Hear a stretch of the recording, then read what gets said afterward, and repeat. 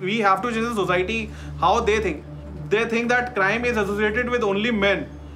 For this reason, we are here. There was no one who talks about men's issues.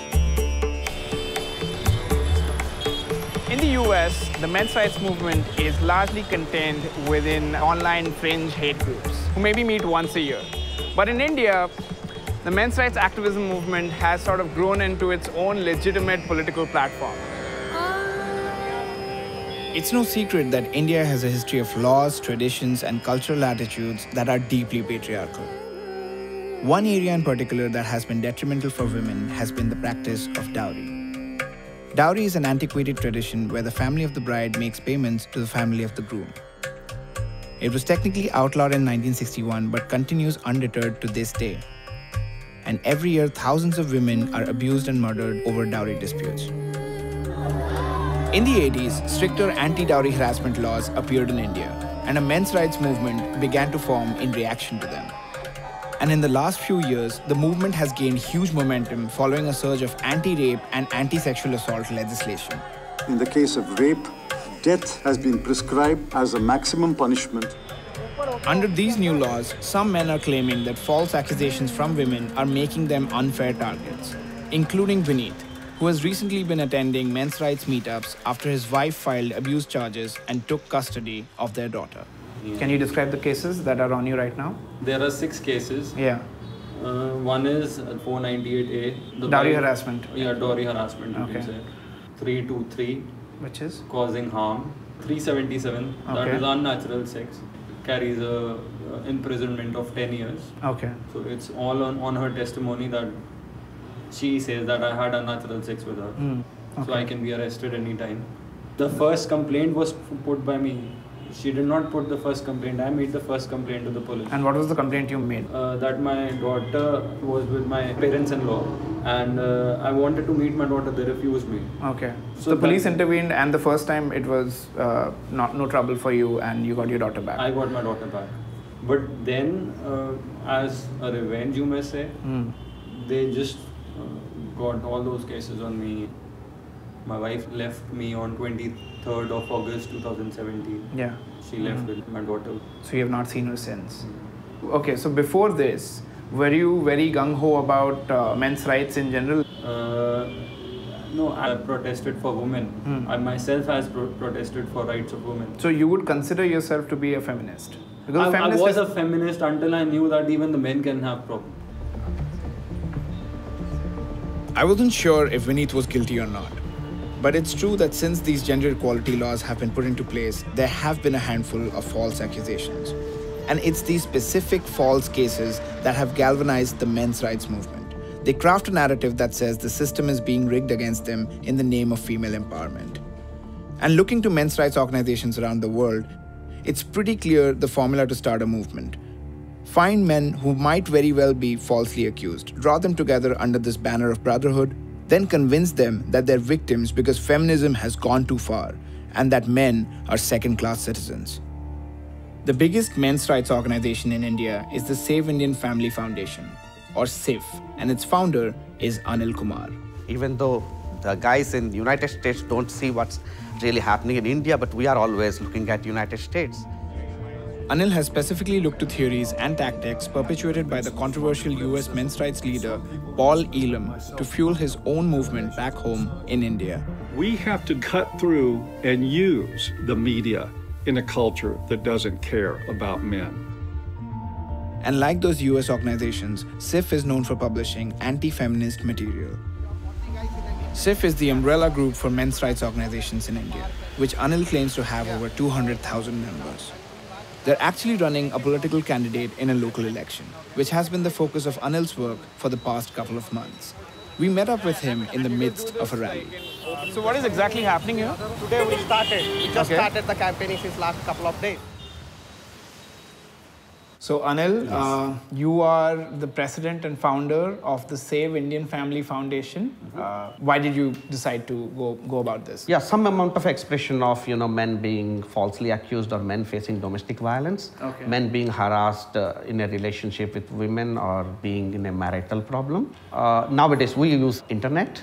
How is it different? some of these guys made that breakthrough that you know they are not ashamed in terms of sharing their experiences okay. with judicial system or family problems.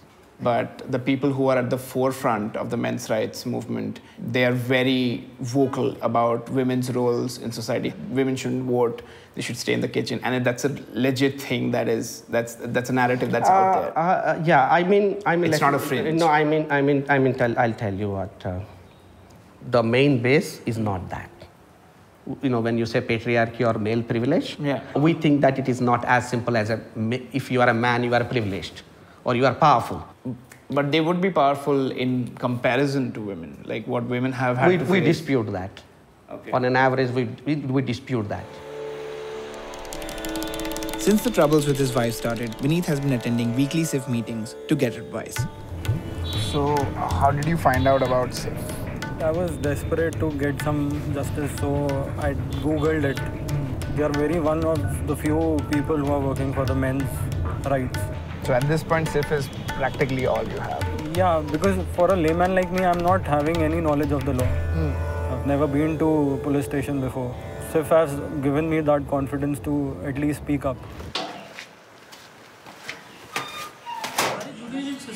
Problem सबसे बड़ी ये आ जाती है कि बिल्कुल अंधे हो जाते हैं वो। जब आदमी की बात आती है ना तो वो बिल्कुल चुप हो जाते हैं। बिल्कुल। आप कुछ भी कहते रहो, वो सुनने को तैयार नहीं होते।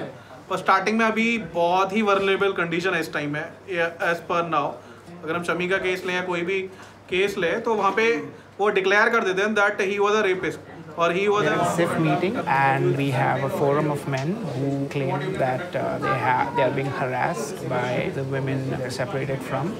So it's like an AA meeting, but like aggrieved husbands. And how much she is demanding? So she's uh, given me a list of 92 lakh rupees. 92 lakhs. Yes. So they have forged some documents. That's why there was so much abuse of law. This chapter of SIFF is run by Rupenshu Pratap Singh, whose primary job is to give legal advice to men who are in the midst of marital court cases. on daily basis we men record this biasness in our society So you're working against biased laws. there was more than 40 laws which are for women Okay. there was none uh, not a single law which were But women do face violence per capita far more than men. uh, who said the statistics if you check about the ncrb data you will find it what is the true states and what are not But in general, violence in gen- against you women. are saying in general because you have seen only the one face of a coin even this side of the coin seems very biased and anecdotal. While there may, may be enough men to fill in a room, hmm. Hmm. Hmm. like the number of women who have faced something like this, like I, I'm pretty sure it could fill up this block. you can't say that women are 100% legitimate According to the National Crime Records Bureau, there are actually over 330,000 crimes against women in India every year. What's worse is that due to underreporting and lack of access, violence against women is actually much higher than what the national crime statistics show. It's common for men's rights movements to deny statistics and data that speak to the gravity of issues facing women to discount the need for laws that are designed to protect them. I met with Supreme Court lawyer Karuna Nundy, who has been a champion of women's rights in India, to get her take on the matter. There's a pervasive sense of victimhood, mm-hmm. which is very interesting to me. Mm-hmm. And I think that sense of victimhood comes because they misunderstand feminism as being women against men, Men, yeah. rather than people against patriarchy, which is what it is. Mm-hmm.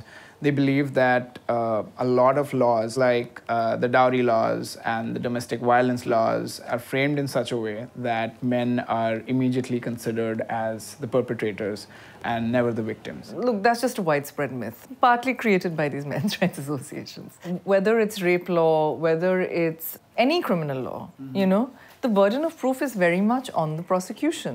Look, any system has false positives and false negatives, yeah, right? yeah, yeah. False positive is when somebody who is innocent is dragged through the criminal justice system, right? yeah. Now, the false negatives in our systems are much greater, much, much, much greater than the false positives. Every single law is misused to a degree. Just because it's misused just don't, doesn't mean that it shouldn't be there. You Yeah, know, we have yeah. to address the misuse, right? I met up with Vineet as he arrived at the police station to give his testimony, fearing that he'd be arrested on the spot. So you're put in jail. Will SIFF members come and help you out? Sir, I guess they are the only hope that I'm having right now. Okay. So let's hope for the best. So when I was told about this guy, I thought he would be a proper men's rights activist, like, you know, all women suck. He's definitely mixed up with the men's rights movement, but he's just a guy who's in trouble and uh, he's doing what he can to get his daughter back. We waited for nearly four hours while Vineet was in the police station. Despite his fears, he was let go for the day. And though he'll have to return for a formal trial, his chances are good since the conviction rates for any of these crimes is extremely low. Are you feeling better about very it? relaxed now. Yeah. I was, I was scared. I was scared. I, Yeah. I, I didn't knew. The sequence of events was so harsh on me. Yeah. On one hand, I sympathize with guys like Vineet, but I also see the threat that SIFF and the men's rights movement here poses to the progress of much needed women's rights. So these laws that you see as gender biased, they have sort of started like this war between the genders. Yeah, it is unfortunate, but we do believe that uh, it has led to a so-called gender war. There are a lot of victories, which I will call feminist victories. There are a lot of victories. When you have got a lot of victories, you have to bring grace. Every victory, if somebody gets more bloodthirsty, then it scares men. Okay. It's troubling to see how a handful of cases, whether they're justified or not, could be driving such a loud minority of men's rights activists in a country like India. And the men's rights movement isn't showing any signs of slowing down. Earlier this year, they successfully campaigned against a law that would finally outlaw marital rape in India. And though Anil's candidate lost his election, SIFF garners dozens of new members each day, and they plan to field five new candidates in Delhi's assembly elections next year.